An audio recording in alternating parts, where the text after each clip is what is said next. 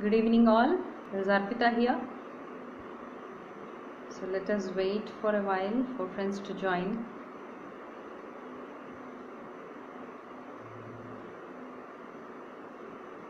Yes the friends are slowly joining.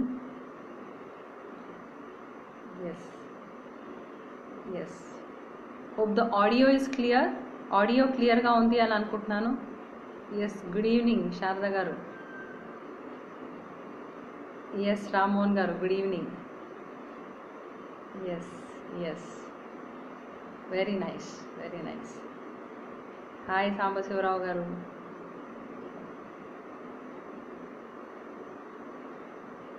yeah clear okay okay okay okay thank you thank you thank you okay yes yes yes చక్కగా మనకి ఇప్పుడు green signal వచ్చేసింది. Voice కూడా క్లియర్గా ఉందని. So we can start ఈరోజు సత్సంగానికి అందరికీ స్వాగతం. Welcome all yes hello all so ఈరోజు మన టాపిక్ ఏంటి అంటే yes Subbareddy garu good evening hello Lavanya. Still friends are joining yes okay ఈరోజు టాపిక్ వేస్ ఆఫ్ వారియర్ అంటే ఒక వారియర్ క్వాలిటీ ఉన్నప్పుడు మనం ఎలా బిహేవ్ చేస్తాము? మనం దానికి మనం ఎలాంటి క్వాలిటీస్ని మనం డెవలప్ చేసుకోవాలి. ఓకే సో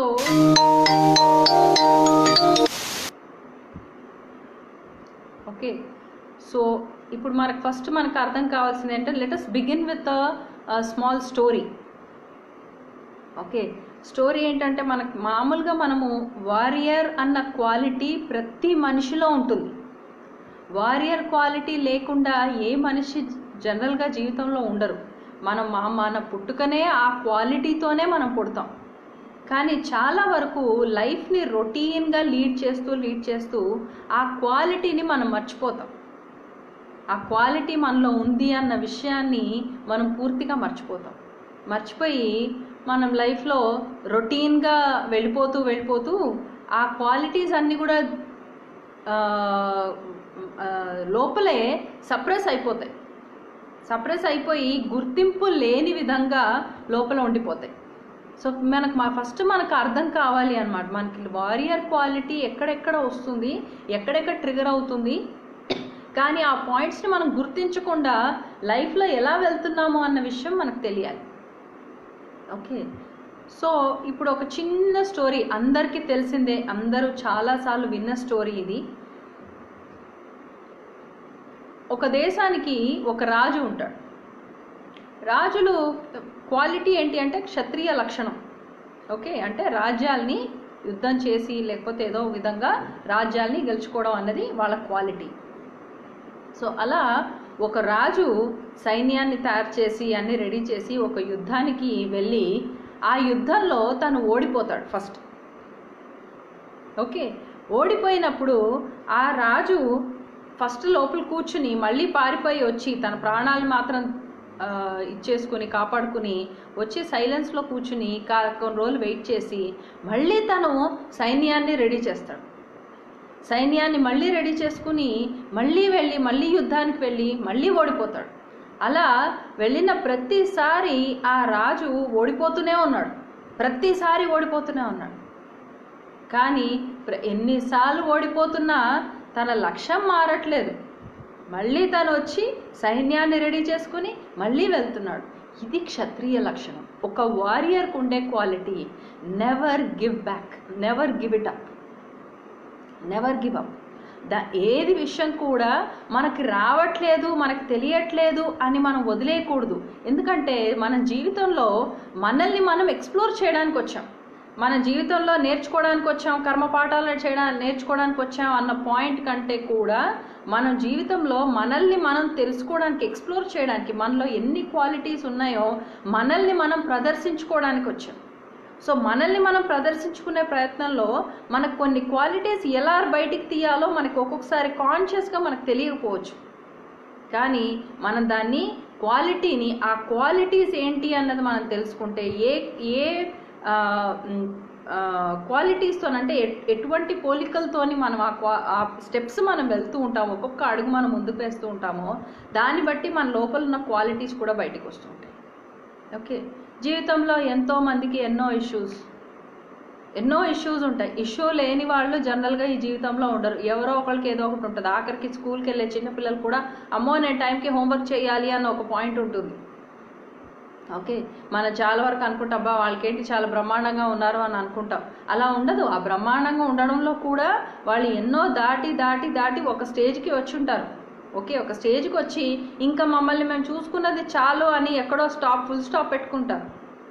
ఓకే కానీ ఈ దారి మాత్రం ఇలాగే అడ్వెంచరస్ లైఫ్ అనేది ఒక అద్భుతంగా అడ్వెంచరస్గా ఎంతో ఆహ్లాదకరంగా ఆనందంగా మనకు ముందుకు వెళ్ళాలి. సో వెళ్ళాలన్నప్పుడు ఒక్కొక్క పాయింట్ మనం ఎలా తీసుకుంటాము? ఓకే చాలా వరకు ఆడవాళ్ళకి ప్రత్యేకించి. లైఫ్లో ఎన్నో సిచ్యువేషన్స్ ప్రతి అడుగడుక్కి నేను జీవితాన్ని ఎలా గడపాలి అన్న ఒక ఒక యుద్ధం. Okay?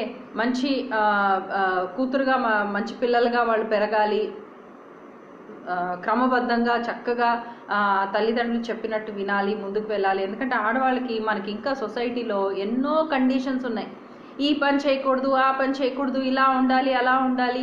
It is out of love ఒక ప్రేమతో వచ్చిన పాయింట్సే అయినా ఒక కండిషనింగ్ సోషల్ కండిషనింగ్ ఎలా ఉన్నా ఎన్నో పాయింట్స్ మీద వాళ్ళకి కొంచెం ఎక్కువగా ఉంటుంది. ఇది చేయాలి ఇది చేయాలి. ఎప్పుడు కాంపిటీషనే వీళ్ళలాగా ఉండాలి. పెళ్ళిళ్ళై ఒక ఇంటికి వెళ్ళిన తర్వాత కూడా మంచి కోడలు అనిపించుకోవాలి అత్తగారి చేతి మెచ్చుకోవాలి మామగారు మెచ్చుకోవాలి ఇంటి వాళ్ళు మెచ్చుకోవాలి. ఇలా ప్రతి ఒక్కటి ఏదో ఒక యుద్ధం జరుగుతూనే ఉంటుంది. అందుకే చాలా వరకు ఆడవాళ్ళకి ఆవేశం కోపం ఎక్కువ ఉంటుంది. యుద్ధం చేయాల్సి వస్తుంది కాబట్టి ప్రతి ఒక్కటి జీవితాన్ని ఒక యుద్ధ రంగంలో మారిపోయింది. కానీ మనం అవన్నీ పక్కన పెడితే జీవితాన్ని ఎప్పుడు కూడా యుద్ధ రంగంలాగా చూడకూడదు. చూస్తే మనకంతా మనల్ని ట్రిగర్ చేసే వాళ్ళే మనకు ఎదురవుతూ ఉంటారు. ఒక ఆర్ట్ లాగా అంటే ఇది ఒక డ్రామా వాళ్ళలో నేను ఇలాగే ఈ ఈ జీవితంలో ఈ రంగస్థలంలో జీవితం అనే రంగస్థలంలో నేను ఈ పాత్రని పోషించడానికి వచ్చాను. ఆ పాత్ర ఎలా తెలుస్తుంది? మనం మామూలుగా మనం ఉన్నప్పుడు మనము జీవితంలో మనం ఉన్నప్పుడు మనం ఎన్నో పాత్రలు పోషిస్తుంటాం. ఒక బిడ్డగానో ఒక పార్ట్నర్గానో ఒక ఏదో ఒక అక్క చెల్లెలు అన్న తమ్ముడు ఏదో ఒకటి ఏదో ఒక పాత్ర పోషిస్తూ ఉంటాం. కానీ అసలుగా మన పాత్ర ఏంటి అంటే మన తత్వం. మన తత్వంలోనే మన పాత్ర ఉంటుంది. ఆ పాత్రని మనము పూర్తిగా పరిపూర్ణంగా ఎక్స్ప్రెస్ చేయడానికి దాన్ని పోషించడానికి ఆ పాత్రని ఆ- పా- పాత్రని మనం ఎక్స్ప్రెస్ చేయడానికని మనం వస్తాం. ఓకే? సో ఆ పాయింట్ మిస్ అవ్వకూడదు. ఆ పాయింట్ మిస్ అవ్వకుండా మనం లైఫ్లో ముందుకు వెళ్తూ ఉండాలి. ఓకే? సో ఇలాంటప్పుడు ఫస్ట్ ప్రిన్సిపల్స్ ఏంటి? ఒక క్షత్రియుడికి ఉండాల్సిన ప్రిన్సిపల్స్ ఏంటి? ఫస్ట్ మనం ఏ పాత్ర అయితే ఫస్ట్ మన పాత్ర ఏంటి? ఈ జీవితంలో నా పాత్ర ఏంటి అన్నది మనం పూర్తిగా ఫస్ట్ తెలుసుకోవాలి. ఓకే? ఆ పాత్ర ఎలా ఉంటుంది? మనకు నిన్న మనం మాట్లాడుకున్నాం ఒక అవేకెండ్ ఆర్కిటైప్ అని. ఆర్కిటైప్ అంటే ఒక మూల రూపం. ఓకే? మూలమూర్తి మూల రూపం పురారూపం ఏదైనా దానికి పేరు ఎలా అయినా పెట్టుకోవచ్చు. ఓకే? దాన్ని చూసినప్పుడు మన లోపల మనకు ఆ మూర్తి అంటే ఆ ఆ రూపం ఎలా అయితే ఉందో అది యాక్చువల్గా మన పాత్ర. ఎందుకంటే మన పాత్ర మన తత్వంతో సమానమైంది. మన తత్వంలోనే ఉంటుంది మన పాత్ర. ఆ పాత్ర మనం ఎందుకు పోషిస్తామంటే ఎన్నో ఎన్నో పూ- మన పూర్వీకుల దగ్గర నుంచి కానీ ఓల్డ్ పాస్ట్ జనరేషన్స్ నుంచి కానీ లేకపోతే ఇంకెన్నో విధాలుగా ఒక కలెక్టివ్గా కాన్షియస్గా ఒక కలెక్టివ్ కాన్షియస్నెస్లో అంటే అందరి తత్వంలో యూనివర్సల్ లెవెల్లో ఆ పాత్రని మనం కరెక్ట్గా పోషించడం వల్ల ఎన్నో కర్మల్ని మనం నలిఫై చేస్తూ ఉంటాం. కర్మలు అంటే అదేదో కర్మ అదేదో పనిష్మెంట్ అదేదో బాధాకరమైంది అని అనుకోకండి. కర్మ అంటే మనం ఎన్ని పనులు అయితే చేస్తామో దాని ప్రకారంగా ఆ పాత్రను అనుసరించి మన పనులు మనం ఈ భూ ప్రపంచంలో చేసుకుంటూ వెళ్తాం. ఓకే. భూ ప్రపంచానికి మనం వచ్చి భూమిని ఉద్ధరించాల్సిన అవసరం ఏం లేదు. భూమికి తెలుసు. తను తాను ఎలా ఉద్ధరించుకోవాలో భూమికి బాగా తెలుసు. ఓకే. ఇప్పుడు ఆల్రెడీ మనం చూస్తూనే ఉన్నాం. మనం ఎక్స్పీరియన్స్ చేస్తూనే ఉన్నాం. కరోనా అని ఒక పాయింట్ వచ్చేసి అందరు ఎక్కడోళ్ళు అక్కడ ఇంట్లో కూర్చున్నారు. బయట పొల్యూషన్ లేదు. ఈ ఎండాకాలం ప్రతి ఎండాకాలం లాగా ఎక్కడ టెంపరేచర్లు ఫార్టీ ఫైవ్లు ఫిఫ్టీలు వెళ్ళట్లేదు. ఎందుకంటే పొల్యూషన్ లేదు. ఎక్కడెక్కడో కనపడని హిమాలయాలు కూడా చక్కగా కనపడుతున్నాయి. సో భూమికి రెస్ట్ తీసుకోవాలి తనను తను కాపాడుకోవాలంటే తనకు తెలుసు ఎలా అయినా తను ఆ రూపాన్ని ఎలా ప్రదర్శించాలి అన్నది మన తనకు బాగా తెలుసు. షాడో క్వాలిటీస్ని ఎలా ఇంప్లిమెంట్ చేయాలి ఎలా యూజ్ చేయాలి అని మనకు తెలుసు. సాధారణంగా మనము స్పిరిచువాలిటీలో అంటే ఆధ్యాత్మికంలో వచ్చిన తర్వాత చీకటి ఉండకూడదు చీకటిని చీకటిని తొ- తొలగించాలి వెలుగులోకే మనం ప్రయాణం చేయాలి మనం వెలుగు అని చెప్తూ ఉంటారు. ఓకే మనం మన వెలుగు మనం అద్భుతమైన వెలుగు మనం చీక మన చీకటిని ఛేదించి మనం వెళ్తున్నాము ఆ చీకటి అనేది చెడు మంచిది కాదు నెగిటివ్ ఎనర్జీ అని చెప్తూ ఉంటాం. ఓకే కానీ ఐ టెల్ యూ దట్ ఎప్పుడైనా చీకటి ఎప్పుడైనా ఉంది చీకటి ఎప్పుడైనా కనిపించింది చీకటి మన లోపల ఎక్కడైనా చీకటి కనిపించింది అంటే అది గుర్తుపెట్టుకోండి మనలో ఉన్న పవర్ని ట్రిగర్ చేయడానికి అది కనబడుతుంది. ఎప్పుడైతే చీకటి కనపడిందో దానిలో మన మనలో ఉన్న పవర్ హండ్రెడ్ పర్సెంట్ కనపడుతుంది. మామూలుగా వెళ్తురుంది అనుకోండి మామూలుగానే నడిచేస్తాం. వెళ్తురుంది అన్నీ కనబడుతూనే వెళ్తున్నాం. ఎప్పుడైతే చీకటి వచ్చింది అనుకోండి అప్పుడు మనం చాలా అలర్ట్గా ఉంటాం. మన అవేర్నెస్ అంతా మన ఎరుక అంతా శరీరంలో ఎన్ని ఇన్నర్ సెన్సెస్ ఉన్నాయో అన్నీ యాక్టివేట్ అయిపోతాయి. అంటే మన తత్వం యొక్క పవర్ అప్పుడే కదా అర్థమయ్యేది. Okay? Embrace the darkness okay? మన క్షత్రియ లక్షణం అనేది ఫస్ట్ మనలో ఉన్న ఆ చీకటి ప్రపంచాన్ని కూడా మనం ఎంప్రెస్ చేయాలి స్వీకరించాలి. ఎటువంటి నిబంధన లేకుండా మనం స్వీకరించాలి. ఓకే? ఎప్పుడైతే అలా స్వీకరించగలుగుతామో అప్పుడు మనం లైఫ్లో ముందుకు వెళ్తూ ఉన్నప్పుడు మనకి ఎన్ని కూడా ఎన్ని అడ్డంకుల్లాగా అనిపించినా అవన్నీ కూడా ఓవర్కమ్ చాలా సింపుల్గా మనం చేయగల చేయగలగచ్చు. ఓకే? సో ఈ పాయింట్స్ మనం చూసుకుందాం. నెక్స్ట్ ఫోర్ ఒక ప్రిన్సిపల్స్ అంటూ ఉంటాయి.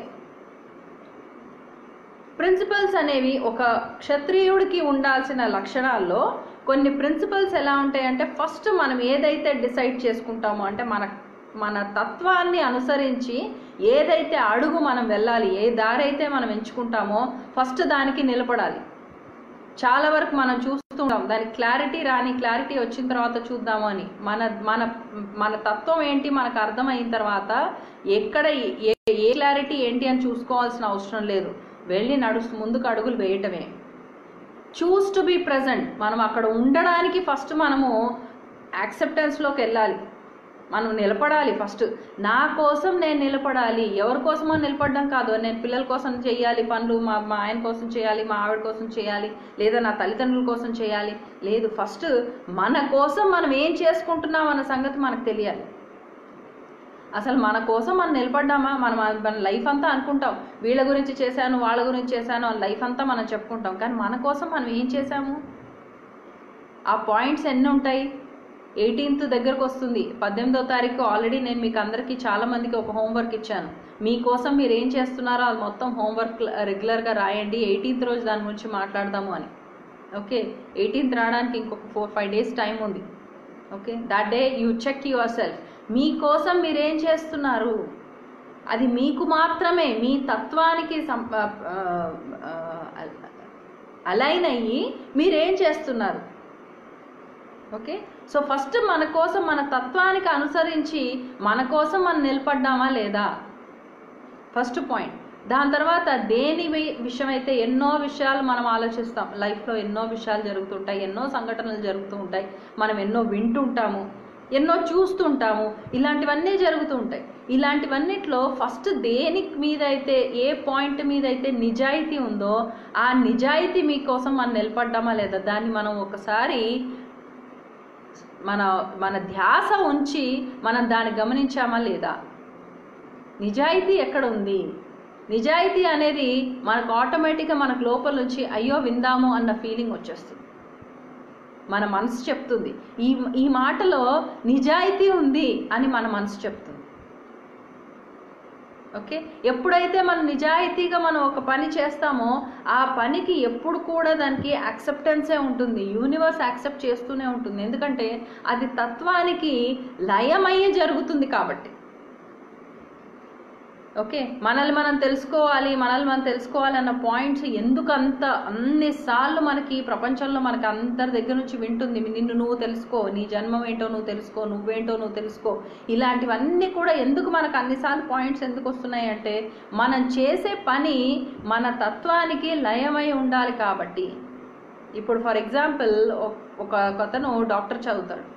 డాక్టర్ చదివేసి హాస్పిటల్కి వెళ్ళి కూర్చొని మర్చిపోయాడు నేను డాక్టర్ నన్ను మర్చిపోయాడు.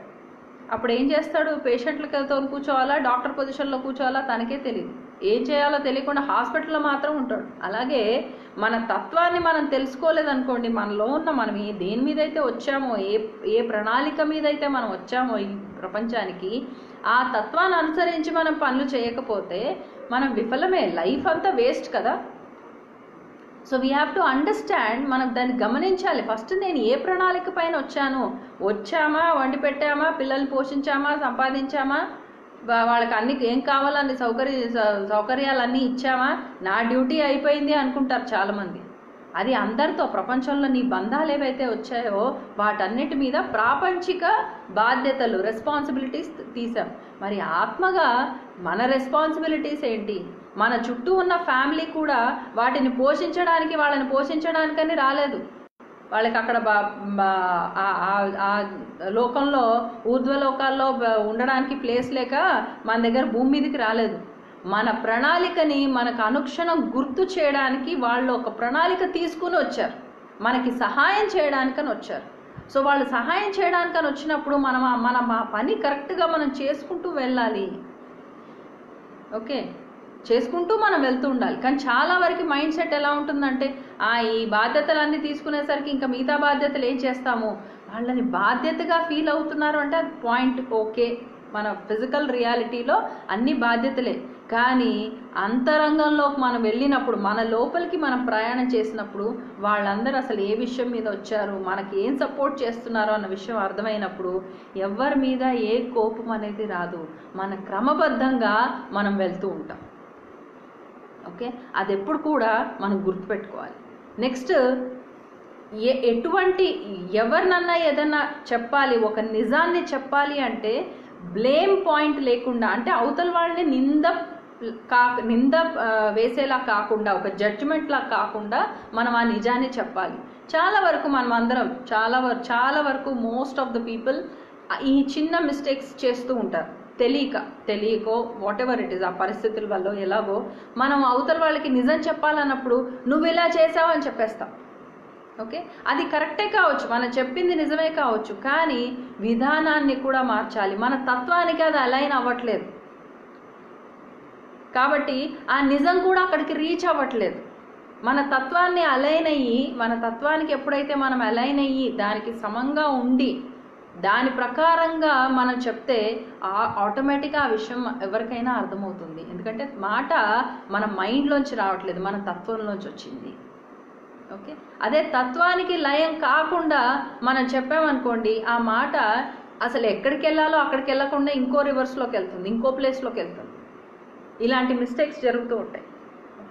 సో ఒక క్షత్రియ లక్షణం ఏంటి అంటే ఫస్ట్ పాయింట్ మన తత్వానికి మనం లయమై ఉండాలి. That's the first and foremost point next outcome మనకి ఏదైతే మన అవుట్కమ్ ఉంటుందో అంటే ఒక పని చేసిన తర్వాత దానికి ప్రతిఫలం ఏదైతే ఉంటుందో దానికి ఓపెన్గా ఉండండి. ప్రతిఫలం ఏదొచ్చినా తీసుకునేలాగా ఉండండి. కానీ దాని గురించి ఆలోచించి ఈ పని చేయకండి. ఏ పని కూడా చేయకూడదు. నేను నా తత్వం ప్రకారం ఉంటే ఇవి ఇవి క్లియర్ అవుతాయి. ఏమో నాకు దాని గురించి తెలీదు. కానీ నా తత్వం ప్రకారంగా నా తత్వాన్ని అనుసరించి నేను ఉండాలి అన్న విషయం మాత్రం నాకు తెలుసు. అదొక్కటే నేను చేస్తాను. ఓకే? ఈ పాయింట్స్ మనము ఈ ప్రిన్సిపల్స్ ఇలాంటి నిబంధనలోంచి మనం వెళ్ళాలి. ఒక క్షత్రియ తత్వం అన్నప్పుడు మనలో మన జీవితాన్ని మనం ఎందుకు ఈ ప్రణాళిక తీసుకొని మనం ఈ జీవితంలోకి ఈ భూమి మీదకి ఎందుకు వచ్చాము అంటే చాలా వరకు పాయింట్స్ ఉన్నాయి. మన కర్మ పాఠాలు నేర్చుకోవడానికి వచ్చాం మన జీవిత పాఠాలు నేర్చుకోవడానికి వచ్చాం అక్కర్లేదు. ఏబిసిడీలు చిన్నప్పుడు చదివేసాం అయిపోయింది. మన మన తత్వాన్ని అనుసరించి క్రమబద్ధంగా మనం నడవడానికి వచ్చాం. మన ధర్మం అది. మన ధర్మం అంటే ధర్మం అంటే మంచి మాట మాట్లాడటము చక్కటి మాటలు మాట్లాడటము అందంగా ఉండడం లోపల మనుషులు తిట్టుకోవటం బయటికి మాత్రం చాలా చక్కగా ఉండటం ఇవి కాదు. ధర్మము అంటే నేను ఏ ప్రణాళిక పైన వచ్చానో నేను ఏ తత్వంలోంచి వచ్చానో ఆ తత్వాన్ని అనుసరించి నేను ముందుకు వెళ్ళాలి. ఆ తత్వం మనకు ఎక్కడ తెలుస్తుంది? మన స్టోరీస్ని బట్టే మనకు తెలుస్తుంది మన తత్వం ఏంటి అన్నది. సో దాన్ని బట్టి మనం ఎలా అయినా ముందుకు వెళ్తూ ఉండాలి. ఓకే? ఎప్పుడైతే అలా ముందుకు వెళ్తూ ఉంటామో మనకి ఏ ప్రాబ్లం రాదు. ఓకే? చాలామంది మన తత్వాన్ని బట్టి మన స్టోరీస్ విన్నవాళ్ళు సలహాలు ఇస్తూ ఉంటారు. ఈ పని చెయ్యి ఆ పని చెయ్యి నీ స్టోరీ ప్రకారం ఇలా చేయాలి అలా చేయాలని నా స్టోరీ ప్రకారం నా స్టోరీ గతంలో ఎక్కడ ఆగిందో అక్కడ నుంచి పది అడుగులు నేను ముందుకేసి కంప్లీట్ చేసి చూపిస్తాను. ఈ జన్మలోనే చూపిస్తాను. ఈ ఈ తత్వాన్ని నేను ఒక పరిపూర్ణతనిస్తాను అని అనుకోవాలి. అది వారియర్ లక్షణం. అంటే ఒక క్షత్రియ క్వాలిటీ అనమాట ఓకే? ఆ క్వాలిటీని మనం ఎప్పుడు కూడా మనము యాక్సెస్లో ఉంచాలి. దాన్ని ఎప్పుడు కూడా పక్కన తీసి పాడేయకూడదు. దాన్ని మర్చిపోయి క్రా బ- పరిస్థితులు వచ్చాయని అదని మనం దాన్ని పక్కన పెట్టకూడదు. మన కోసం మనం నిలబడాలి. నెక్స్ట్ మెయిన్గా ఫస్ట్ ప్రిన్సిపల్స్లో ఏదైనా కానీ ప్రతిఫలాన్ని ఆశించకుండా ప్రతిఫలాన్ని ఆశించకూడదు అంటే ప్రతిఫలం వచ్చినా దాన్ని వదిలేయమని కాదు. ప్రతిఫలం వచ్చినప్పుడు వస్తుంది. దాన్ని స్వీకరించాలి. ఎందుకు స్వీకరించకూడదు? Hundred percent. మనం కష్టపడి చదివాము ఎగ్జామ్లో పాస్ అయ్యాము. రిజల్ట్ వస్తే అయ్యో రిజల్ట్ కోసం నేను చదవలేదు టీచర్ అని చెప్పి ప్రోగ్రెస్ కార్డ్ వదిలేసి వస్తామా? కాదు. రిపోర్ట్ ఏదొచ్చినా రిజల్ట్ ఏదున్నా ఫెయిల్ అయినా పాస్ అయినా రిజల్ట్ ఏదున్నా దాన్ని స్వీకరించాలి. కానీ మనం రిజల్ట్ కోసమని చదవలేదు. సో అలాగే మనం ఎప్పుడు కూడా అవుట్కమ్కి ఓపెన్గా ఉంటాం. కానీ అవుట్కమ్ని ఆశించి మనం ఆ దారిలో నడవడం అనేది జరగకూడదు. అది ఒకటి మనం గుర్తుపెట్టుకోవాలి. Plus next point choose to be present మనం మనం ఫస్ట్ అక్కడ ఉండడానికి మనం నిలబడడానికి మనం రెడీ అవ్వాలి. ఈ జీవితంలో ఈ జన్మ నేను పరిపూర్ణంగా కంప్లీట్ చేసే వెళ్తాను. అని ఎప్పుడు కూడా ఆ క్వాలిటీస్ మనం ఉండాలి. ఈ జీవితాన్ని నేను ఎప్పుడు కూడా కంప్లీట్ చేసి వెళ్తాను కంప్లీట్ చేయకుండా నేను వెళ్ళను అన్న డెసిషన్ అన్న సంకల్పం మనలో ఉండాలి. ఓకే ప్రతి విషయాన్ని నిజాన్ని నిజాన్ని చెప్పడం ఇంపార్టెంట్ కాదు. నిజాన్ని ఎలా అయినా చెప్పొచ్చు కానీ నిజాన్ని చాలా నిజాయితీగా చెప్పాలి. నిజానికి నిజాయితీకి కొంచెం తేడా ఉంటుంది. మనం ఎప్పుడైతే నిజాన్ని మాట్లాడమనుకోండి ఎవరి ఎవరికైనా ఏదైనా చెప్పొచ్చు. వంట బాగాలేదు అనుకోండి బాగాలేదు అని చెప్తాం. అది నిజాన్ని. అది నిజం. కానీ నిజాయితీగా చెప్తే నిజాయితీగా ఉన్నప్పుడు వంట బాగాలేదు కానీ దాని నిజాయితీ గురించి నిజాయితీతో ఆలోచించినప్పుడు సరే ఒక్కొక్కసారి ఒక్కొక్కసారి వంటలు పాడవుతాయి లేదా ఒక పని పాడవచ్చు. పర్వాలేదు. అయితే ఏముంది? సరే కానీ ఈరోజు ఇలా అయ్యింది. ఓకే. పోనీలే పర్వాలేదు అని దాన్ని అడ్జస్ట్ చేస్తాం. ఓకే? సో అడ్జస్ట్ చేసి మనం మనల్ని మనం క్వశ్చన్ వేసుకుంటాం. నిజాయితీ వచ్చినప్పుడు పాయింట్ వచ్చినప్పుడు మనల్ని మనం క్వశ్చన్ చేస్తాం. ఇదే పరిస్థితి నాకు వచ్చినంటే ఓకే? అప్పుడు ఏం చేసే ఏం చేసేవాళ్ళము? అన్న పాయింట్ ఆలోచించి ఆ నిజాన్ని అప్పుడు మనము అప్పుడు నా నిజాన్ని చెప్పినప్పుడు వ్యక్తం చేసినప్పుడు కూడా అవతల వాళ్ళని బ్లేమ్ చేసినట్టు ఉండదు. అది నిజాయితీగా చాలా సక్రమంగా వెళ్తుంది. ఓకే? సో ఆస్పెక్ట్స్ ఏంటి? సో మన కోసం మనం నిలబడాలి అన్నప్పుడు ఆస్పెక్ట్స్ ఏంటి? ఇందులో ఫస్ట్ పాయింట్ ఏం జరుగుతుంది? మన కోసం మనం నిలబడుతున్నప్పుడు మన మీద మనకి గౌరవం ఉండడం అవతల వాళ్ళని కూడా గౌరవించడం అన్న పాయింట్ వస్తుంది. మనల్ని కూడా మనం గౌరవించాలి అవతల వాళ్ళని కూడా మనం గౌరవించాలి. ఈ రెండూ ఉండాలి. ఆ నన్ను నేను గౌరవించుకుంటే చాలే నాకు వేరే వాళ్ళ సంగతి అవసరం లేదు అంటే మన మన మనం ఏంటి మన తత్వం ఏంటి అని అర్థమైతే అని ఒక్కసారి మనకు ఆ పాయింట్లో క్లారిటీ వస్తే మనలో ఉన్న తత్వము ఇంకా చాలామందిలో ఉండొచ్చు. ప్రతి ఒక్కళ్ళలో కూడా ఉండొచ్చు. సో మనం ఆ తత్వము నన్ను ఆ తత్వం నా నా లోపల ఏ తత్వం అయితే ఉందో ఆ వాళ్ళలో కూడా అదే తత్వం ఉంది. సో ఈ తత్వము ఆ తత్వాన్ని నిందించడం జరగదు. అది జరిగే పని కాదు. ఓకే? మనం చక్కగా చేతులు రెండు జోడించి నమస్కారం పెట్టినప్పుడు కూడా నాలో ఉన్న తత్వము నీలో ఉన్న తత్వాన్ని గౌరవిస్తుంది అన్న చెప్పడానికి మనం చక్కగా నమస్కారం అని పెట్టుకుంటున్నాం. ఓకే? ఇప్పుడు ఈ కరోనా అదృష్టం వల్ల హ్యాండ్ షేక్లు అన్నీ పోయినాయి. ఇంకొంచెం కొన్ని రోజుల వరకు అయితే అట్లీస్ట్ హ్యాండ్ షేక్లో రారు ఎవరు? అందరూ చక్కగా నమస్కారం పెడతారు. సో నమస్కారం పెట్టినప్పుడు ఫస్ట్ నా తత్వానికి నేను తల వంచుతున్నాను. నా తత్వాన్ని యొక్క గొప్పతనానికి నేను తల వంచుతున్నానని ఫస్ట్ మనకి మనం. దాని తర్వాత ఎదురుగుండా ఎవరుంటే వాళ్ళకు కూడా. ఓకే? ఫస్ట్ ఫస్ట్ ఇస్ మన రెండు చేతులు జోడించినప్పుడు కళ్ళు మూసుకున్నప్పుడు మన లోపల ఉన్న తత్వం మనకు కనబడుతుంది. ఆ తత్వాన్ని ఫస్ట్ మనము గౌరవించాలి.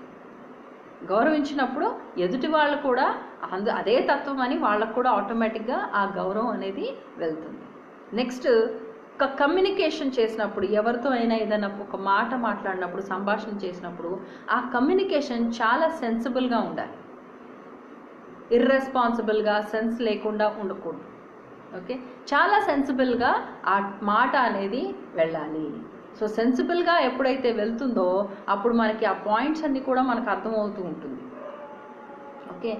సెన్సిబుల్ కొన్ని కొన్నిసార్లు మన డార్క్నెస్ మన లోపల ఉన్న చీకటి మనల్ని ఎలా తీసుకెళ్తుంది అంటే సెన్స్ లేకుండా కూడా మాట్లాడుతుంటాం. ప్రతి మాటలో సెన్స్ ఉంటుంది. కానీ ఆ సెన్స్ ఎలా ప్రజెంట్ చేయాలో మనకు అర్థం కాదు. ఎందుకంటే మన తత్వము పొలారిటీలోకి వెళ్ళింది.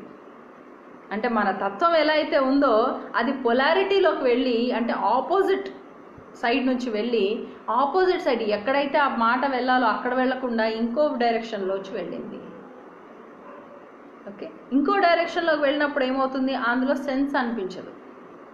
కమ్యూనికేషన్లో ప్రాబ్లం ఏముండదు మాట కరెక్టే చెప్పాం కదా అనుకుంటాం. కానీ ఇక్కడ కాదు చెప్పాల్సింది ఇంకో పాయింట్లో చెప్పాలి. అవి కూడా మనకు అర్థమవుతుంది ఓకే? నెక్స్ట్ మన లిమిట్స్ ఏంటి? మన బౌండరీస్ ఏంటి? అవి మనకు తెలియాలి. చాలా వరకు మనం మన పరిధిని దాటి వెళ్తూ ఉంటాం.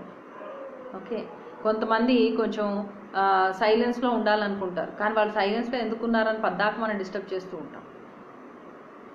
ఓకే. కొంతమంది తొందరగా రెస్పాండ్ చేసే వాళ్ళు ఉంటారు. కొంతమంది కొంచెం ఇంట్రోవర్డ్స్ ఎక్కువ ఉంటారు. వాళ్ళ లోపలే వాళ్ళతోనే వాళ్ళు ఉంటారు. ఎక్కువగా బయట మాట్లాడటం కానీ అలాంటివి ఎక్కువగా ఇష్టపడరు వాళ్ళు. సో అలా ఇష్టపడినప్పుడు మనం ఏం చేస్తున్నాం? మనం పద్దాక వెళ్ళి కొంతమంది ఉంటారు. పద్దాక వెళ్ళి ఎందుకు అలా ఉంటున్నావు? ఎందుకు నీతో పాటు ఉంటున్నావు? నువ్వు ఎందుకు మాట్లాడడానికి రావట్లేదు? నీకు ఏం ప్రాబ్లం వచ్చింది? అని వాళ్ళని అస్తమానం డిస్టర్బ్ చేస్తూ ఉంటారు. అంటే మన పరిధిని మనం దాటి వెళ్ళాం. మన లిమిట్ ఇంతే. ఓకే? చాలా వరకు నేను మన వర్క్షాప్స్లో కొంతమంది చూస్తూ ఉంటాం. ఒక స్పేస్ అంటూ క్రియేట్ అయిన తర్వాత ఒక టైంలోకి నేను ఎవరిని జనరల్గా అలౌ చేయను. కానీ కొంతమంది దూరిపోతూ ఉంటారు. ఆ స్పేస్ నాది. కానీ కొంతమంది అనవసరంగా దూరిపోతూ ఉంటారు. అంటే పరిధిని దాటి వస్తూ ఉంటారు. ఎందుకంటే మన సిస్టంలో ఇంకా ఆ ఆ విషయాలు ఆ చిన్న చిన్న విషయాలైనా అవి ఎవరికి నేర్పించలేదు. ఈవెన్ మన మన మన సాంప్రదాయం ఎంత చక్కగా ఎంత అద్భుతంగా మనకు అవ్వాలి అంటే అవతల వాళ్ళ రూమ్లో మన పిల్లలే కానీ మన ఇంట్లో పెద్దవాళ్ళే కానీ మన ఇంట్లో పిల్లలే కానీ వాళ్ళ రూమ్లోకి వెళ్ళాలన్నా మనం ఒకసారి నాక్ చేసి నెమ్మదిగా వెళ్ళాలి. సడన్గా ఇది మన ఆస్తి అన్నట్టు మనం దూరిపోకూడదు. ఓకే? మాది చూసినప్పుడు పిల్లలు కూడా అదే నేర్చుకుంటారు. సో మన పరిధిలో మనం ఉండాలి మన బౌండరీస్లో మనం ఉండాలి మన పరిధుల్ని మనం గౌరవించాలి. అప్పుడే ఎదుటి వాళ్ళ పరిధులను కూడా మనం గౌరవించగలుగుతాం. ఎందుకంటే పరిధి ఒక బౌండరీ అంటే ఏంటి? మనకు తెలుస్తుంది కాబట్టి. ఓకే? నెక్స్ట్ రెస్పాన్సిబిలిటీ బాధ్యతలు. ఒక డిసిప్లైన్తో వచ్చే బాధ్యత. ఓకే? సో డిసిప్లైన్ అంటే ఇక్కడ ఒక క్రమశిక్షణ. క్రమశిక్షణగా అంటే ఒక క్రమబద్ధంగా వచ్చే ఒక బాధ్యత. ఈ పాత్రకి ఈ బాధ్యత ఉంటుంది.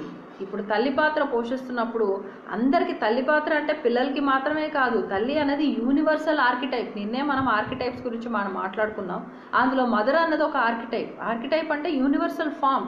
అందరికీ అమ్మే. అమ్మ అందరికీ అమ్మే. ఇంట్లో ఆ రోల్లోకి వచ్చినప్పుడు ఆ రోల్ ప్లే చేస్తున్నప్పుడు వీళ్ళు భర్త వీళ్ళు వీళ్ళు అత్త వీళ్ళ మామ వీళ్ళ అమ్మ వీళ్ళ నాన్న వీళ్ళ చెల్లెలు వీళ్ళ అక్క వీళ్ళ తమ్ముడు అన్న భేదా భేదాలు ఉండవు. అమ్మ పాత్రలోకి వచ్చినప్పుడు నిలబడ్డప్పుడు మన మన లోపల ఉన్న ఆ తత్వం నిద్రలేసినప్పుడు అవేకన్ అయినప్పుడు ఆటోమేటిక్గా అందరికీ అదే పరిధిలోంచి మనం వెళ్తాం. ఆ క్రమబద్ధంగా వెళ్తూ ఉంటాం. ఓకే? ఆ రోజు ఏం చేసినా అద్భుతంగా జరుగుతూ ఉంటుంది. అందరినీ అందరు ఆటోమేటిక్గా మనల్ని మెచ్చుకుంటూ ఉంటారు. మనకు తెలియకుండానే మెచ్చుకుంటూ ఉంటారు.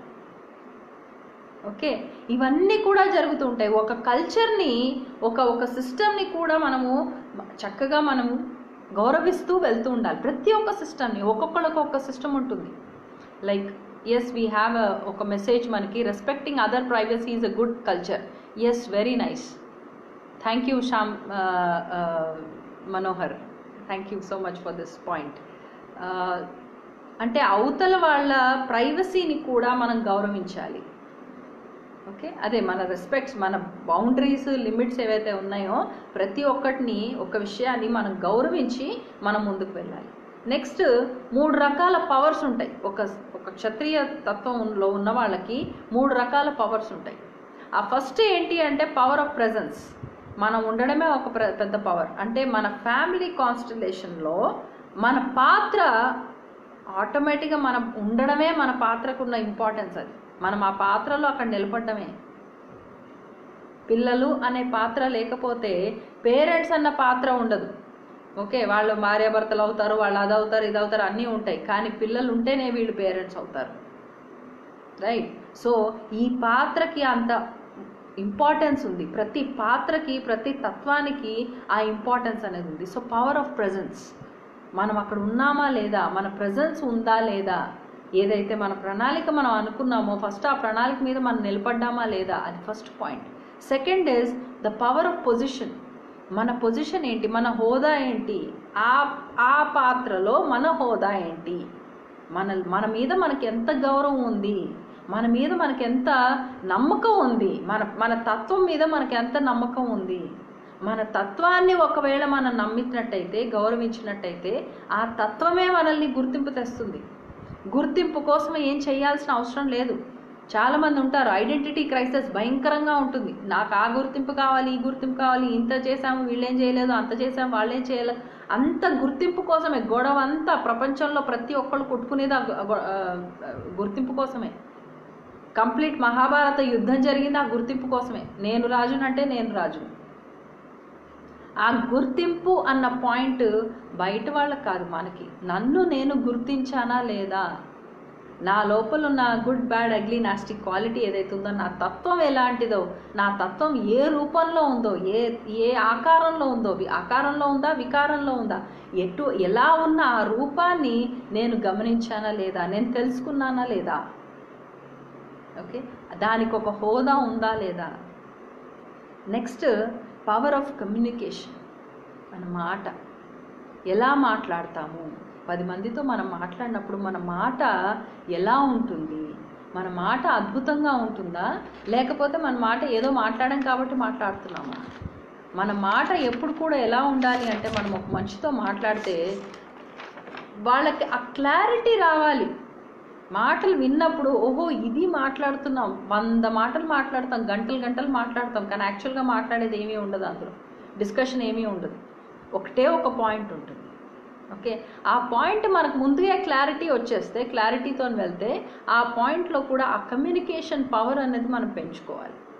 ఆ కమ్యూనికేషన్ పవర్ అని పెంచుకున్నప్పుడు మనం ఎవరితో మాట్లాడాలన్నా వన్ పాయింట్లో వెళ్ళిపోతుంది. చాలా వరకు కొన్ని స్కూల్స్లో కాలేజెస్లో ఈరోజు కూడా ఒక క్వశ్చన్ ఇచ్చారు అంటే ఎగ్జామ్లో ఆన్సర్లు పేజీలు పేజీలు రాయాలి అంటారు. ఎందుకంటే ఎంత పెద్ద ఆన్సర్ రాస్తే దాని గురించి అంత అర్థమైంది అని. ఓకే? కొంతమంది స్టూడెంట్స్ అలా ఉండరు. అంత పెద్ద ఆన్సర్ అయినా ఒక లైన్లో రాసేసి వదిలేస్తారు. దానిలోనే అంత వచ్చింది కదా అంటారు. ఓకే? అంటే వాళ్ళ లోపల ఎంత క్లారిటీ ఉందంటే ఎంత క్లారిటీ వస్తుందో మాట పదాలు అంత తగ్గిపోతాయి మనకి. క్లారిటీని ఎక్స్ప్రెస్ చేయాలి అన్న వర్షన్లో పెద్ద ఎన్నో పదాలు యాడ్ అవుతుంటాయి. కానీ క్లారిటీ ఒకసారి వచ్చేసాయి మనకు కంప్లీట్గా వచ్చింది అంటే పదాలు కూడా తగ్గిపోతాయి. సో ఈ కమ్యూనికేషన్ పవర్ మన power of position power of presence power of communication ఈ మూడు పవర్స్ కూడా ఇవన్నీ కూడా అన్క్లెయిమ్డ్ అంటే మనం ఇంకా మనం గుర్తింపు లే లేని పవర్స్ మన లోపల ఉన్నాయి. మన మాట ఒక అద్భుతమైన పవర్ మన దగ్గర ఉన్నది. మన మాటతోని అందరు తలలు నరకొచ్చు లేదా శిలా విగ్రహాలు కూడా తయారు చేయొచ్చు. ఒక మంచి మూర్తుల్ని కూడా తయారు చేయొచ్చు. మన మాట. ఓకే? మాట అనేది అంత విలువైంది. ఆ పవర్ని మనం సక్రమమైన మార్గంలో మనం ఉపయోగించాలి. అది చాలా ఇంపార్టెంట్.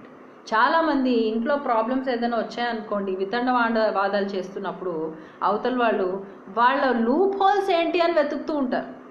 వీళ్ళకి వీక్నెస్ నే ఇంటెలిజెంట్గా మాట్లాడుతున్నానని అనుకుంటారు వాళ్ళు. కానీ ఎప్పుడైతే నేను ఇలా మాట్లాడాలి అలా మాట్లాడాలి అని మైండ్ పెట్టుకొని వెళ్తారో అప్పుడే స్టూపిడిటీ ఫస్ట్ వచ్చేసింది వాళ్ళకి. ఓకే? తెలివి తక్కువతనం వచ్చేసింది. చాలా ఇంటెలిజెంట్ అనుకుంటారు. నేను చాలా ఇంటెలిజెంట్గా నేను ఇది పని చేస్తున్నాను అనుకుంటారు. కానీ అసలైన ఇంటెలిజెన్స్ అక్కడే పడిపోయింది. ఓకే? ఆ విధంగా వెళ్తూ ఉంటుంది.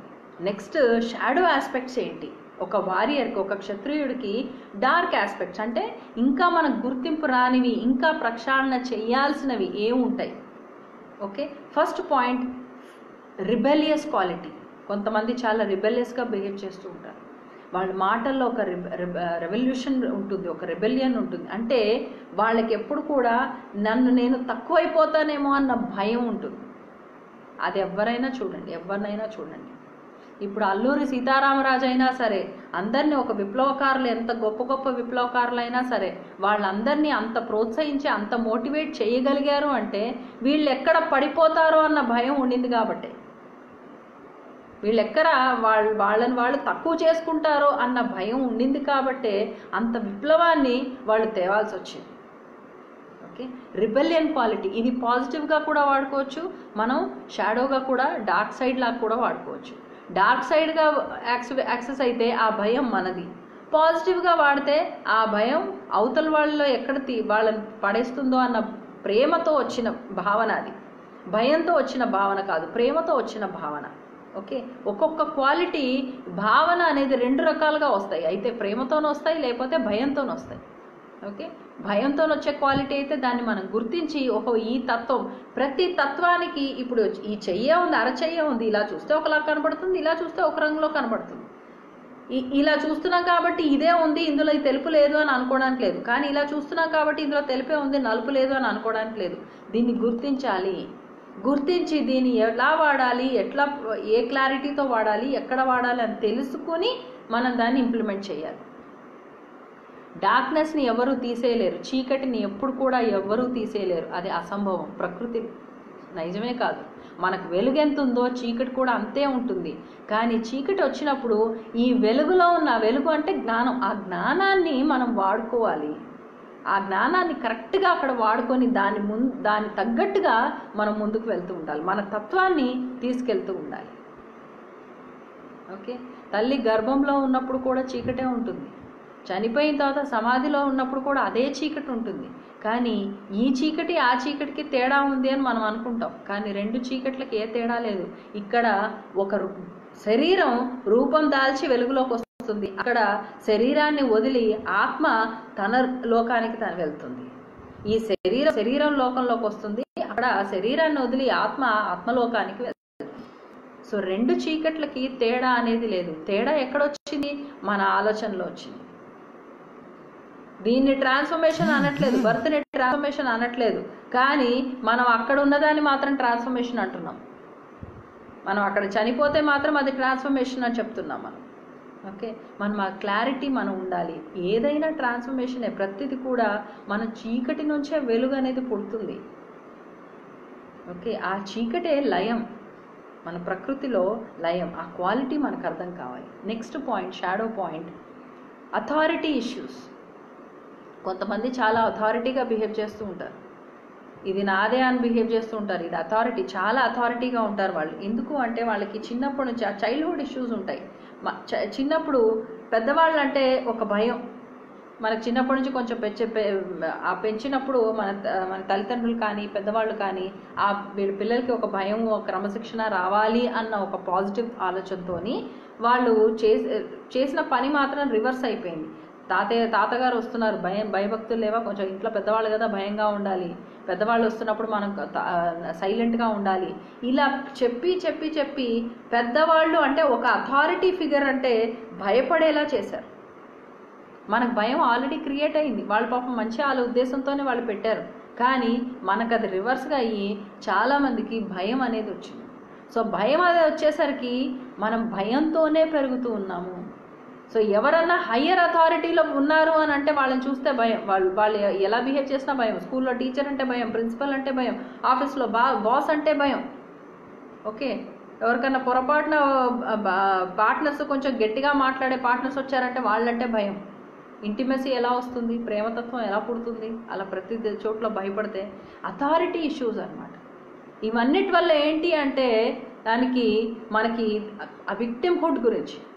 అంటే మనకి భయం అయిపోయింది. వాళ్ళు ఏం చేస్తారో అన్న భయానికి మనల్ని మనం డిఫెన్స్లోకి వెళ్తూ ఉంటాం. ప్రతి విషయంలో భయమే. అంటే అవతల మనిషి మనల్ని అంత భయపెట్టారా? మన విక్టిమ్హుడ్లోకి వెళ్తున్నాము అని అంటే ఆ అవతల మనిషి మనల్ని అంత భయపెడుతున్నారా? అంటే మనలో వాళ్ళంటే అంత భయం ఎందుకుంది? ఎక్కడి నుంచి వచ్చింది భయము? ఏం జరుగుతుందని భయం వచ్చింది? ఓకే? అవన్నీ తెలుసుకోవాలి. ఎవరన్నా మనల్ని అన్నారనుకోండి విక్టిమ్హుడ్లోకి వెళ్తున్నారా అని అన్నారనుకోండి వాళ్ళే నేర్చుకోవాలి. నేను నేను అంత భయపెట్టానా? వీళ్ళు ఎందుకు ఆ స్టేజ్లోకి వెళ్తున్నారు?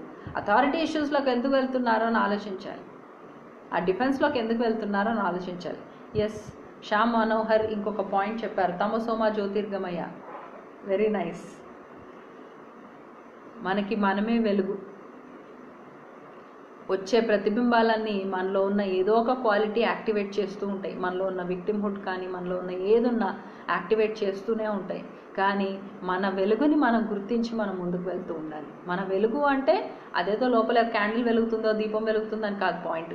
మన తత్వం ఒక అవగాహన మన లోపల తత్వం ఏదైతే ఉందో ఈ జన్మలో మనం ఏ ప్రణాళిక పైన వచ్చామో ఆ ప్రణాళికని లయమై అనుసరించి మన మన తత్వానికి అనుసరించి ఆ ప్రణాళిక ఉంటుంది. సో ఆ తత్వాన్ని మనం ఎప్పుడైతే తెలుసుకుంటామో అదే మనం మనం తెలుసుకోవడం. ఓకే? ఆ పాయింట్ నుంచి. ప్లస్ మనకి తెలియకుండా వచ్చే కొన్ని ప్యాటర్న్స్ అంటే లో సెల్ఫ్ ఎస్టీమ్ బట్టి ఉంటాయి. మన మీద మనకి కాన్ఫిడెన్స్ కూడా ఉండదు. సెల్ఫ్ కాన్ఫిడెన్స్ అనేది తక్కువగా ఉంటుంది. లో సెల్ఫ్ కాన్ఫిడెన్స్లో సెల్ఫ్ ఎస్టీమ్ ఇవన్నీ కూడా. అంటే మనల్ని మనము తక్కువ చేసుకునే క్వాలిటీస్ చాలా వస్తుంటాయి. ఈ ప్యాటర్న్స్ అన్నీ మనకు తెలియదు మనకు కనపడకుండా వస్తూ ఉంటాయి. ఓకే? ఎప్పుడైతే మన లోపల ఉన్న ఆ క్షత్రియ తత్వం ముందుకు రావాలి నిద్ర లేచి అది ముందుకు తన తత్వం ప్రకారం తను ముందుకు నడవాలి అంటే జీవితాన్ని అనుసరించాలి అంటే మనకి ఈ క్వాలిటీస్ అన్నీ కూడా వెనకాల వెనకాల వస్తూ ఉంటాయి. మనకి విక్టిమ్హుడ్ వస్తుంది. మనకి ఇన్విజిబిలిటీ ప్యాటర్న్స్ ఆఫ్ ఇన్విజిబిలిటీ వస్తుంది. ఓకే ఇవన్నీ కూడా మనకు వస్తూ ఉంటాయి. వారియర్ క్వాలిటీ అనేది మన లోపల నుంచి రావాలి. వారియర్ క్వాలిటీ అంటే ప్రతిదానికి గొడవ పడాలి మనం ఏదో సాధించాలి మనం ఏదో ప్రూవ్ చేయాలి ఇవన్నీ కాదు. మనం ఏంటో మనం కంప్లీట్గా తెలుసుకొని మనం దాన్ని బట్టి సింపుల్గా వెళ్ళాలి. ఎవరికో ఎవరి దగ్గర నుంచో మనకు కాంటాక్ట్ సర్టిఫికేట్ అవసరం లేదు. మనం మనం ఏంటి అన్నది మన తత్వం ఏంటి మన తత్వం ఇలా ఉంది ఓకే. ఈ తత్వాన్ని పూర్తిగా నేను సింపుల్గా బ్యాలెన్స్ చేస్తే దాని ప్రదర్శన ఎంతో అద్భుతంగా ఉంటుంది. ఆ విషయాన్ని మనం తెలుసుకోవాలి. ఓకే? సో తెలుసుకుని ఆ ప్యాటర్న్స్లో ఉన్న ఏదైతే కనపడకుండా ఎన్ని ప్యాటర్న్స్ అంటే సిచ్యువేషన్స్ మళ్ళీ మళ్ళీ ఎక్కడైతే రిపీట్ అవుతున్నాయో మనకు తెలియకుండా ఏదో ఒక దీంట్లో మనకు అవి కనపడడం మొదలవుతాయి.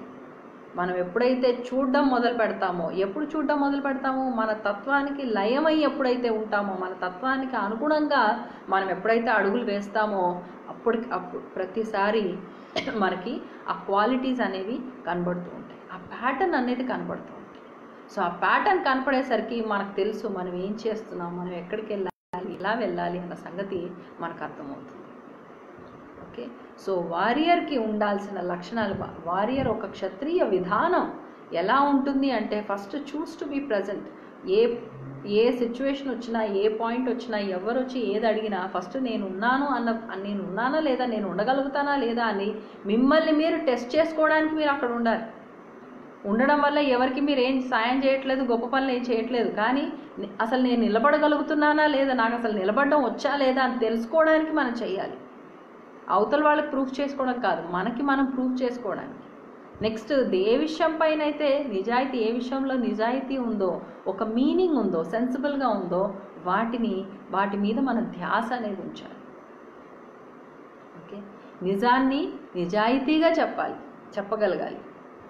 ఓకే అది అందరూ అగెయిన్స్ట్ ఉండొచ్చు మీరు ఒక్కళ్ళే నిలబడి ఉండొచ్చు దానిపైన ఏం పర్వాలేదు. కానీ నిజాన్ని నిజాయితీగా ఎప్పుడైతే మీరు చెప్తారో అప్పుడు మీరు ఒక అడుగు ఎవల్యూషన్ ప్రాసెస్లో మనం ఆత్మ యొక్క పరిణితి పద్ధతుల విధానంలో మనం ముందుకు వెళ్ళినట్టే.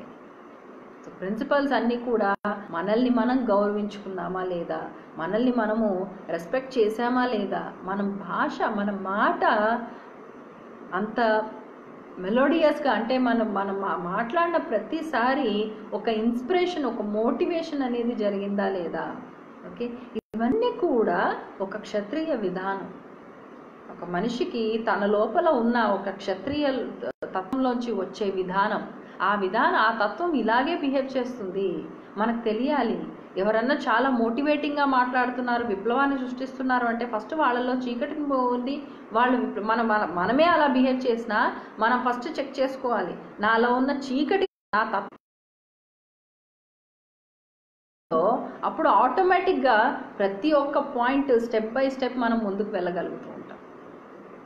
ఓకే ఫ్రెండ్స్ సో ఈరోజు మనం ఈ చిన్న టాపిక్ ద్వారా మనం ఒక క్షత్రియ విధానం పద్ధతులు ఎలా ఉంటాయి? మనం ఎలాంటి పద్ధతుల్ని మనం అలవాటు చేసుకుని ఆ పద్ధతి ప్రకారంగా మన మన ధర్మాన్ని అంటే మన ధర్మం అంటే మన తత్వాన్ని అనుసరించి మన జీవితాన్ని ఎలా ఒక్కొక్క అడుగు ముందుకు వేస్తుంటామో అన్న సంగతి మనకు అర్థమవుతుంది. ఓకే ఫ్రెండ్స్ ఈ పాయింట్ మీద ఈ ఈరోజు టాపిక్ పైన ఎవరికైనా ఏదైనా డౌట్స్ ఉంటే ప్లీజ్ మీరు మెసేజ్ వదిలిపెట్టొచ్చు. మెసేజ్ అక్కడ కమెంట్ బాక్స్లో పెడితే నేను దానికి రెస్పాండ్ చేస్తూ ఉంటాను. ఇప్పుడు ఒక పది నిమిషాలు చక్కగా మనం రోజులాగే ధ్యాన స్థితిలో కొంచెం కొంచెం సమయాన్ని కేటాయిద్దాం. Okay friends? సో చక్కగా అందరూ కళ్ళు మూసుకుని పీల్చే శ్వాస వదిలే శ్వాస ఆ శ్వాస పైనే మీ ధ్యాస ఉంచండి. ఆ శ్వాస యొక్క శబ్దం పైనే మీ ధ్యాస. జస్ట్ ఒక పది నిమిషాలు మాత్రమే. మన శ్వాస కోసం మనం ఒక పది నిమిషాల సమయాన్ని ఈజీగా కేటాయించవచ్చు.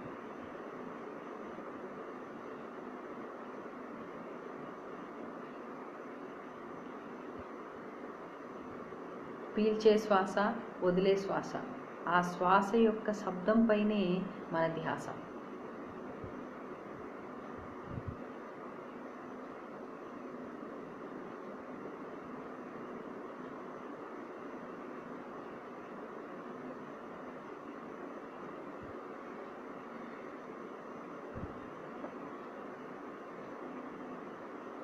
వెన్నుముక్క స్ట్రైట్గా ఉంచుకొని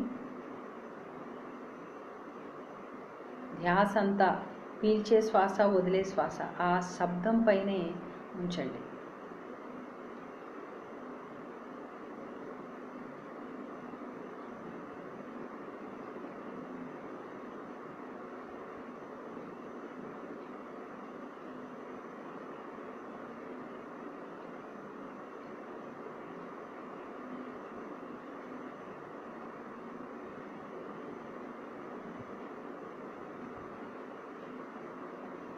ఒక తొమ్మిది నిమిషాలు మన శ్వాస పైనే ఆ శబ్దంపైనే మన ధ్యాస. మనం ఉన్నాము అన్న ఉనికిని తెలుపగలిగే శబ్దం ఈ శ్వాసలో ఉంది. ఈ శ్వాస యొక్క శబ్దం. ఆ శబ్దాన్ని మనం గమనించాలి. మనం ఎంతో గౌరవంగా గమనించాలి. కృతజ్ఞత భావనతో గమనించాలి.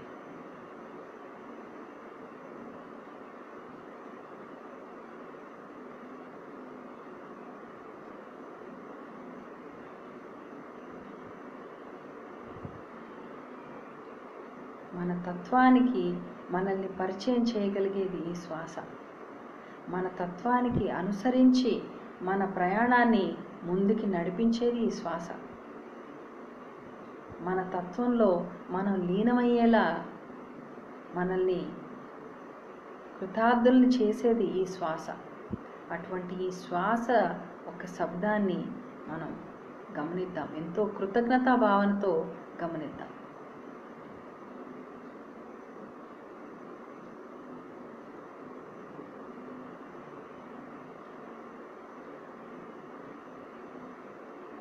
ఎనిమిది నిమిషాలు.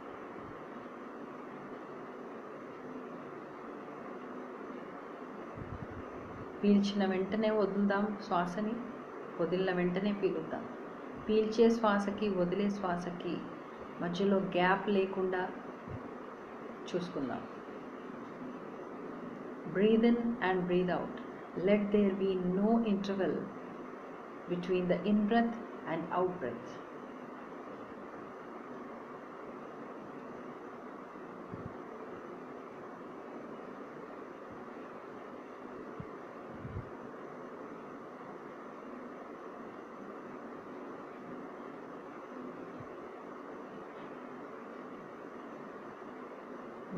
మాట ఎంత చక్కగా ఉండగలుగుతుందో మన శ్వాస కూడా అంతే ఎఫర్ట్లెస్గా మన లోపల లోపలికి బయటికి ఆ శ్వాస అనేది క్రియ జరగాలి.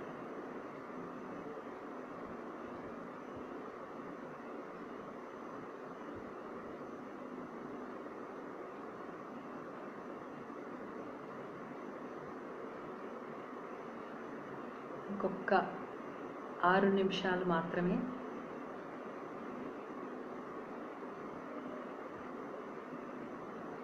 Let there be no effort as you breathe in and breathe out శ్వాస పీల్చిన ప్రతిసారి వదిలిన ప్రతిసారి ఎటువంటి ఎఫర్ట్ లేకుండా ఎటువంటి ఏ కష్టం లేకుండా ఏ ఒత్తిడి లేకుండా మన శ్వాసక్రియని జరపాలి.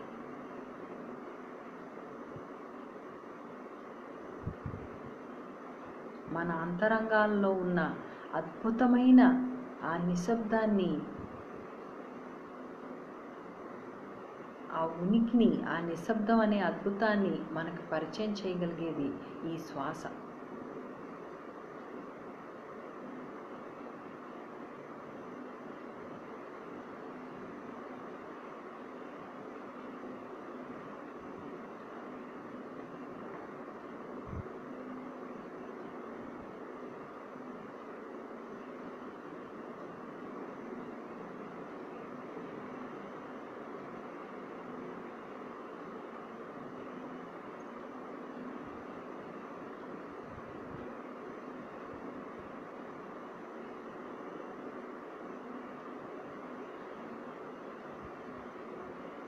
ఈ భూమండలానికి మనం ఏ యుద్ధం చేయడానికి రాలేదు. కానీ ఒక యోధుడి లక్షణాలు మనలో ఎప్పుడూ మన శ్వాస ద్వారా మనకు జరుగుతూనే ఉంటాయి.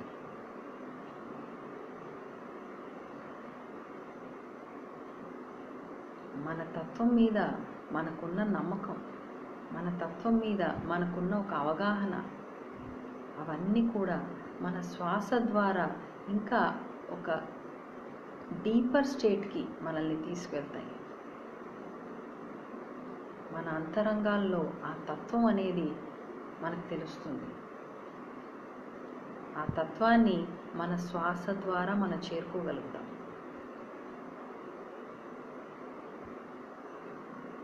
ఇంకొక నాలుగు నిమిషాలు పీల్చిన వెంటనే వదలాలి వదిలిన వెంటనే పీల్చాలి. ఆ పీల్చే గాలి వదిలే గాలి ఆ శ్వాస యొక్క శబ్దం పైనే మన ధ్యాస అంతా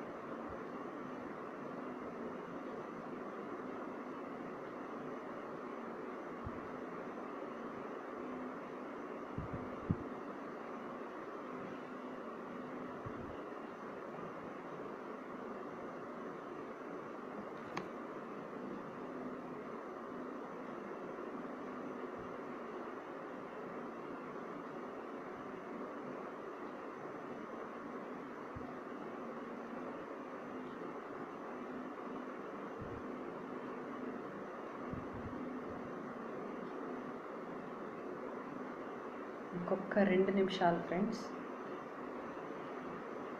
ఈ రెండు నిమిషాలు కేవలం ఎటువంటి ఒత్తిడి లేకుండా మన శ్వాసక్రియని జరుపుదాం. Just be with with your breath let the breath be effortless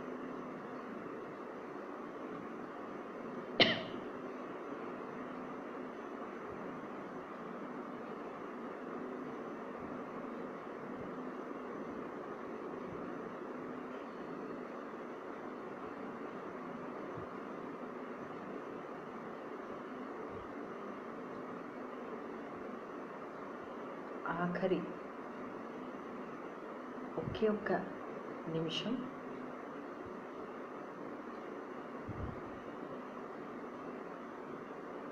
మన శ్వాసక్రియతో అనుసంధానమై ఆ శబ్దాన్ని మనం గమనిద్దాం.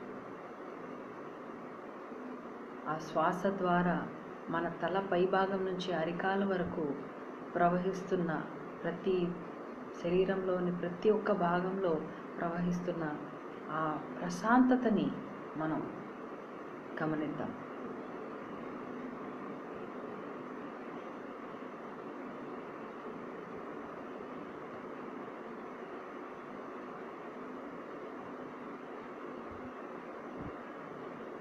ఓకే ఫ్రెండ్స్ శ్వాసని ఒక్కసారి దీర్ఘ శ్వాసని పీల్చుకొని నెమ్మదిగా వదలండి. Just be there deep breath and exhale ఒక త్రీ టైమ్స్ చేసి మీ శరీరంలో ఉన్న ప్రతి ఒక్క భాగాన్ని ఎరుపులోకి తెచ్చుకొని నెమ్మదిగా మీరు ఓకే అనుకున్నప్పుడు నెమ్మదిగా కళ్ళు తెరవండి.